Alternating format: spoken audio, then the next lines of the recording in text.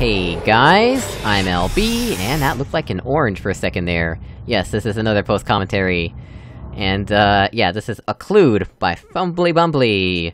Easy difficulty, the retractable slash space extendable light bridge returns in this prequel to Epiglottis. Please report any exploits and such in the comments, your feedback is appreciated.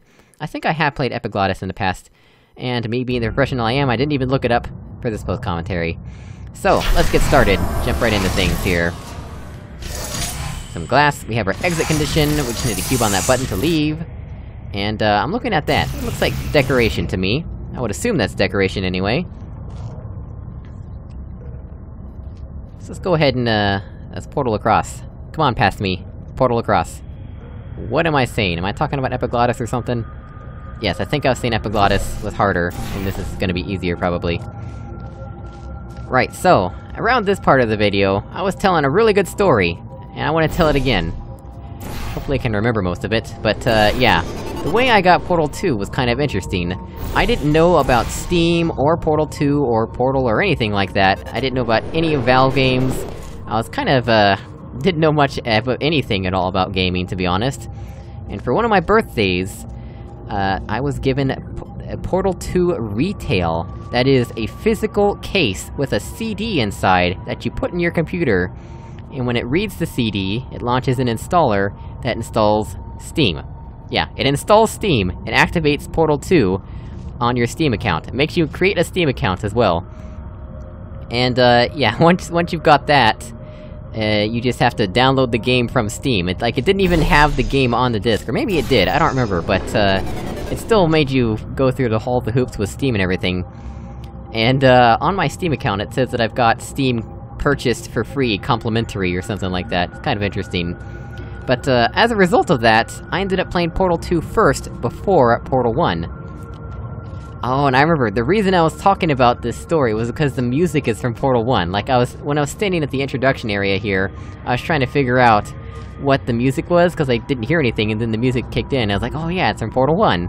From the scene where- oh, I shouldn't spoil that, because some people might have played Portal 2 without playing Portal 1, just like me. And that's how I got into the story. And also, I'm being really dumb here, I'm- I'm spending a long time, because I'm distracted telling the story, I can't even figure out how to do simple portal stuff here, and I can't figure out how to get across, and I'm like... I'm like panicking, what am I doing? But, uh, yeah. Playing Portal 2 first was a rather interesting experience for me. Because it kind of, uh... Oh yeah, yeah, so the other thing I was saying was that, uh...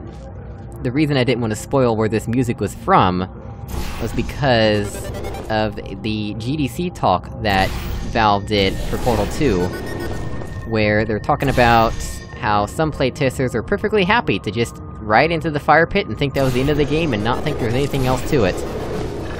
At the end of Portal 1, you know, you're sliding into the fire pit, they just slid in, thought the game was over, that was good. And so in Portal 2, they were gonna put in a similar easter egg where you could portal to the moon halfway through the game and die there and it would roll credits, but uh, so few people found it that they just removed it. But I think it is interesting how some people can accept the ending of a game as being very dark. it's a very dark ending to the game if you just slide into the fire pit and die. And, uh, yeah, it's interesting that some people are just perfectly happy to accept that. And I think that's something to be said, that we have a few too many happy endings in our culture. This isn't something I said in the original video, by the way, but I'm just realizing it now. Right, so now we're finally on the other side, because uh, I stopped being stupid and realized that I could just portal across like a normal person. And uh, I'm looking at this. That looks like Swashbuckle to me. You know, the, the Demon Arisen map where you paint blue gel everywhere? And, uh... Yeah, so this is probably we're gonna need a cube there, that's- I couldn't figure out what the portals behind the glass are for. Like, I, I don't think I ever used them, actually. But, uh, yeah, the reason I looked at this and thought of Swashbuckle was because Demon Arisen, or whoever introduced me to Fumbly Bumbly, they put this idea in my head. They said that there's a rumor that Fumbly Bumbly might actually be somebody else in the Portal community that we already know, and that we're just not sure who it is. And, uh, I'm not sure why they put this seed in my head, but ever since they've said that, I've been looking for clues to try and figure out if we can find out who Fumbly Bumbly is. For, for all I know, Fumbly Bumbly could just be another person. They don't actually have to have another secret identity or anything, they don't have to be like a, a secret alternate account. But I've always been looking out for this idea in my head. Anyway, we're going across here with this light bridge.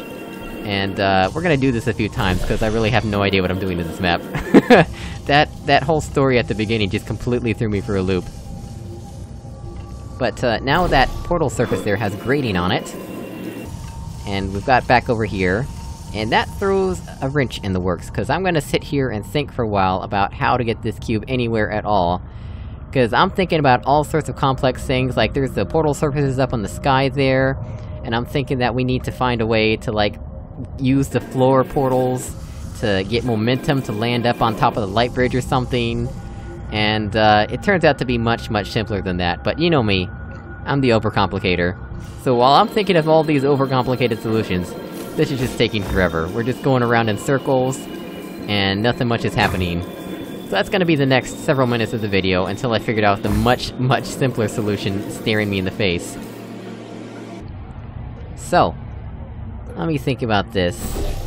I think when I played Portal 2, it was back when I didn't really record games at all. I think my sister actually watched me play it. I think that was back when... I was still... We still had a family computer that we all had to share. It was one computer that my entire family had to share. And so, like, my sister would come watch me play games. We, I didn't have headphones then, so everybody in everywhere in the whole house could hear whatever we were doing on the computer. And... Yeah, my sister watched me play Portal 2 a bunch. She watched me play Portal 1, I think. She also watched me play Psychonauts. She- there's also some other games that I was pretty sure she never saw me play, but it turns out she definitely remembers seeing me play the games, so... We had that computer for a lot longer than I thought. But yeah, now I'm looking at this floor portal surface, wondering if there's anything to do with it. And, uh... No, because as soon as you take the cube off the button, it's just- it's no longer a floor portal surface.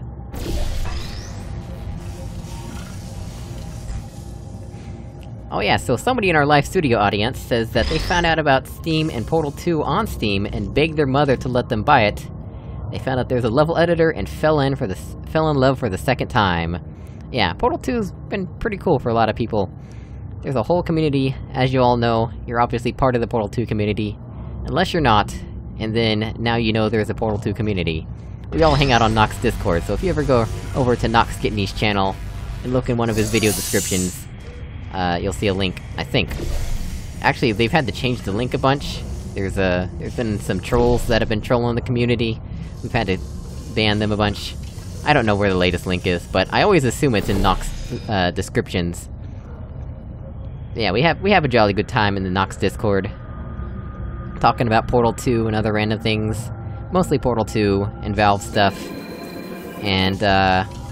Other random things. It's basically like a forum, but it's a chat. Uh, it's actually the only Discord that I use. I actually had a Discord account that I created for test purposes a while back. But, uh, I actually ended up reusing it to join Nox Discord.